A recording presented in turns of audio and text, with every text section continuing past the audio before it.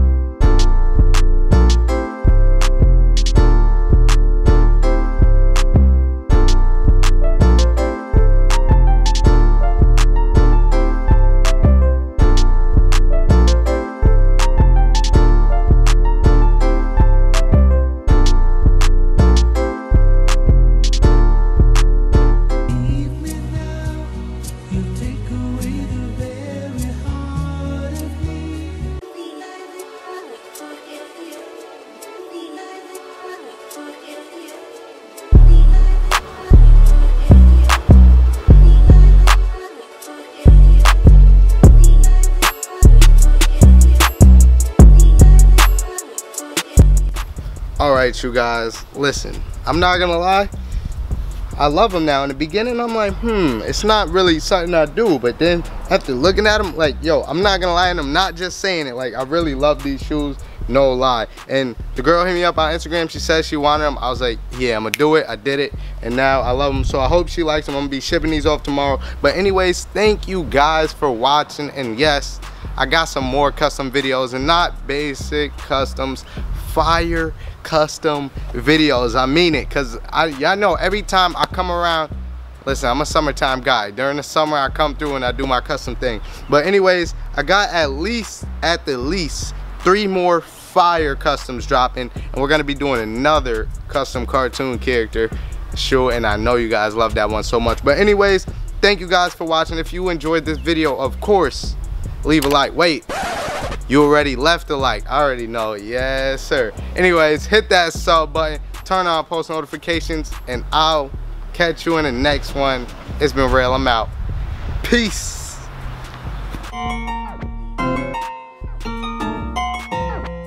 Drizzy is hot as fuck